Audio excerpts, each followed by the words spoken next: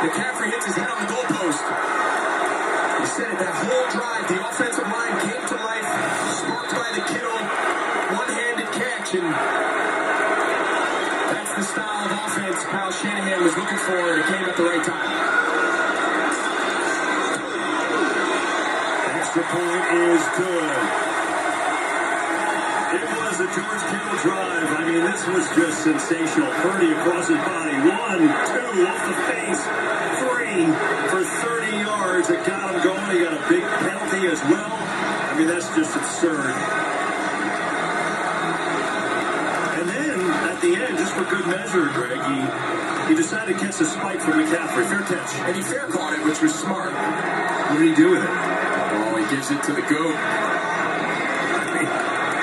Loving the necklace that Jerry's been wearing. He's worn that the last couple weeks. Pretty incredible. Kittle is a piece of work. Oh man, does anybody have more fun playing than him? He's a